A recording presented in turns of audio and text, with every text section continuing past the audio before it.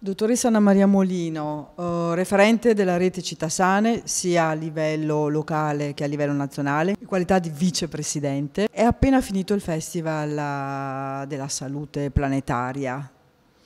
eh, però a quanto pare non è finita qua.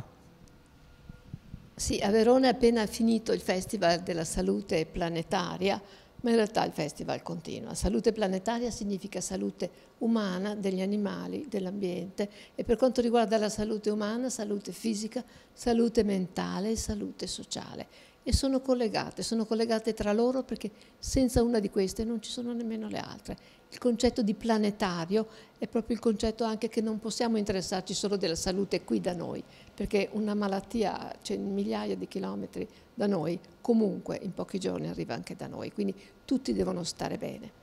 Il festival continua però, continua perché abbiamo raccolto una serie di idee, di informazioni, di consigli, di novità, tutte basate sulle, strettamente sulle evidenze scientifiche e noi vogliamo adesso diffonderle in città, vogliamo contaminare la città ancora più di quello che abbiamo fatto in tre giorni, abbiamo 365 giorni per diffonderle in città, faremo una brochure che diffonderemo a tutti con questi concetti, soprattutto andremo per le circoscrizioni a parlare di queste cose, a parlare di stili di vita corretti, perché gli stili di vita corretti sono uno dei principali determinanti della salute, cioè quelli che fanno sì che noi stiamo bene o ci ammaliamo, ci ammaliamo delle cosiddette malattie croniche non trasmissibili, diabete, ipertensione, obesità, tumori.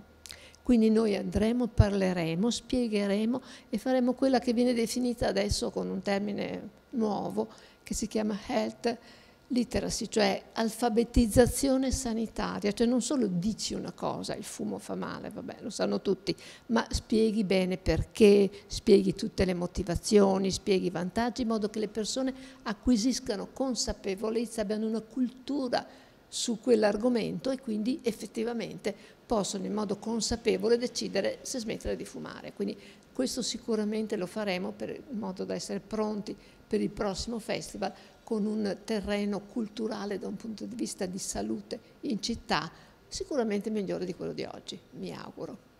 Ecco, lei faceva riferimento alle evidenze scientifiche perché sappiamo che eh, Google eh, mh, ha preso il posto del, dei medici, fa attività di medicina, però in rete si trova di tutto e di più. Quindi quanto è importante in effetti invece eh, saper distinguere, quindi l'alfabetizzazione di cui parlava. È, allora è molto importante l'alfabetizzazione di cui parlavo perché effettivamente in internet si trova tutto e il contrario di tutto e quindi ognuno sceglie l'informazione che gli fa più comodo, quindi questo è umano. Per questo è molto importante andare a raccontare le cose, ma dare anche le fonti da cui sono state prese, perché in fondo sono cinque siti istituzionali in Italia che sono fatti molto bene, Ministero, Istituto Superiore di Sanità, AERC, Fondazione Umberto Veronesi, ma per citare la LILT, per citarne alcuni, in cui sicuramente uno trova tutte le informazioni